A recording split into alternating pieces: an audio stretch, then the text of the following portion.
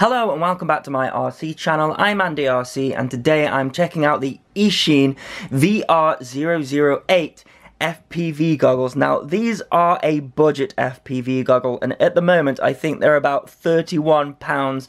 They usually retail at about £39 so if you are wanting a set of very cheap goggles then I'll put a link in the description but first of all I am going to review these goggles because usually when you pay cheap prices you don't get a lot for your money. So what do we have here? Well on face value it actually looks pretty good. We have got a massive nose slot. That is the first thing that I look when I am buying these goggles because a lot of them crush your nose and actually this one is a little bit too big. I would rather it be too big though than too small and you can stick some foam in there because you get some light coming into the goggle. So we've got a Fresnel lens up here. It's a 4 inch screen. Now the biggest problem with this is the Fresnel lens. It is really too close to the monitor.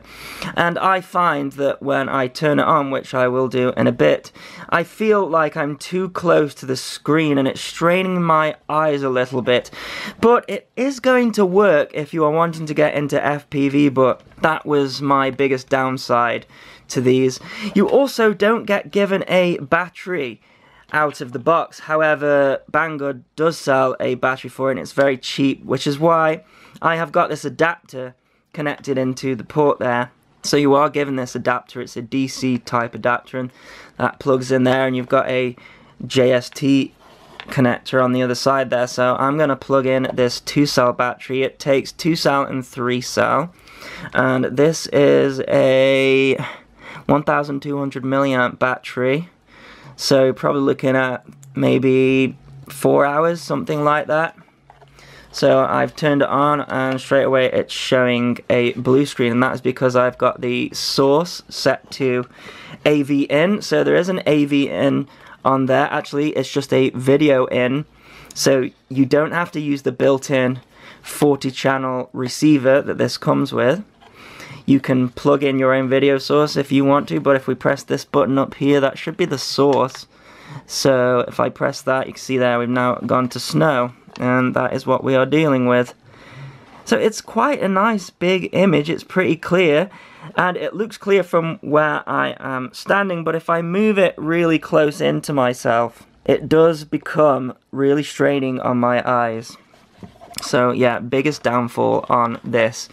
But they're really cheap, and if you're wanting to get into FPV, then they're to work. They're to work.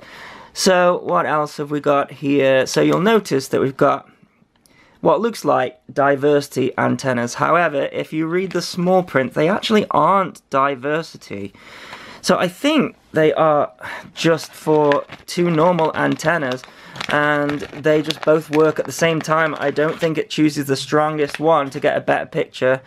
So these are RPSMA, not SMA. So it's not compatible with the immersion stuff, but you know, you can buy RPSMA and SMA cloverleaf antennas. But I'm not sure that that's to benefit you having different antennas on here. You're to want the same antennas like this. So let's have a look what all of the other buttons do here. So I'm to press this one first and let's see what it does. So that's auto searching all the channels up and down there. And so let's see, I think this is the menu button if you long press it down.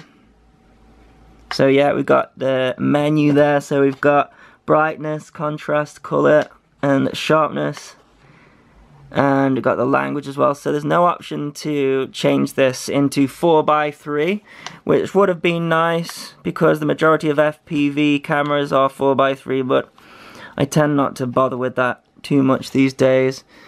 So if you long press that button then this is gonna change your values there. So up and down for changing your values and a menu press again takes you down the menu. So Pretty simple settings there. So I have plugged an FPV camera into this to see if there's any audio and it seems like there is not. So this, although looks like a speaker, is actually just letting heat out because I can't see any audio options at all. But you can see there the picture's pretty good. It's just for me it's a bit straining on the eyes and you can't move that Fresnel lens. Now I am short-sighted and I'm sure the amount of strain on the eyes will be different for everyone. But this is just my personal opinion of these. You can't wear glasses with these. The opening is too short, but if you are short-sighted, you don't need to. It's only the Fat Shark goggles that you will get blur with. So that's not too bad.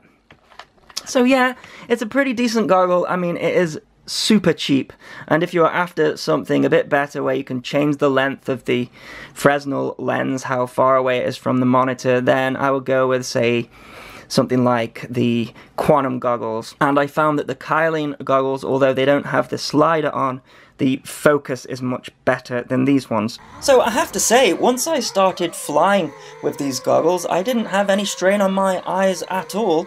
So I'm gonna have to recommend these FPV goggles to newcomers to the hobby because I was having a lot of fun with them, you know. The biggest test that I can do with these goggles is to get my ZMR 250 flying, and that's exactly what I did.